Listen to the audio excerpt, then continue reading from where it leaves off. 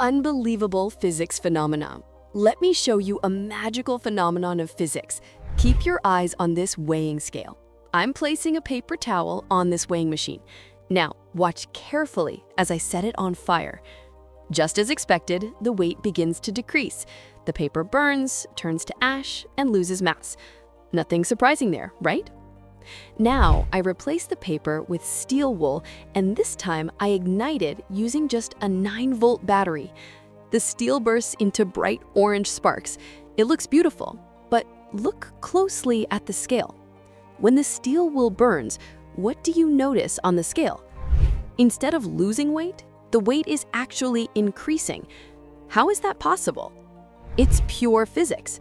When paper burns, it reacts with oxygen to form carbon dioxide gas, which escapes into the air, reducing its mass.